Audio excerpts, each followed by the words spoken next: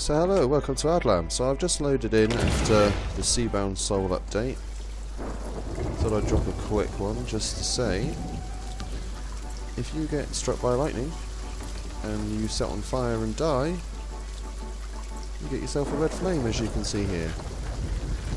Let's actually go and get my actual lantern that I actually use.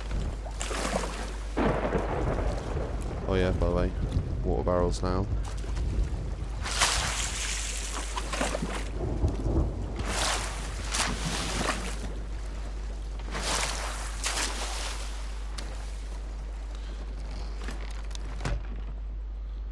Let's get the right lantern out.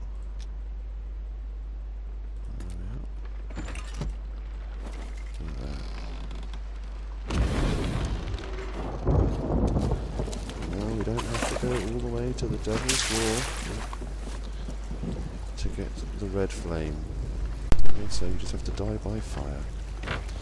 Um, show you a little brief preview of other bits. Just say, quick look now. There you are. There's the. But anyway, that's all for now. Thanks for watching. Catch you next one.